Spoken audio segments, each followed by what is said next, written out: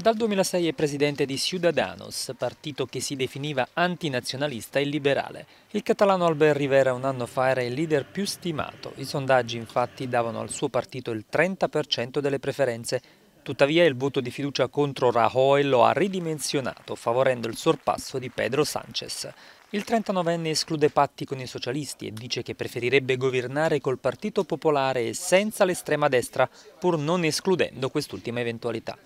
Eletto al Parlamento catalano nel 2006, ne è rimasto membro sino alle dimissioni avvenute prima delle elezioni parlamentari del 2015. Tra le sue proposte l'estensione del congedo di paternità e maternità e l'abbattimento delle tasse per gli imprenditori autonomi che non raggiungono il salario minimo.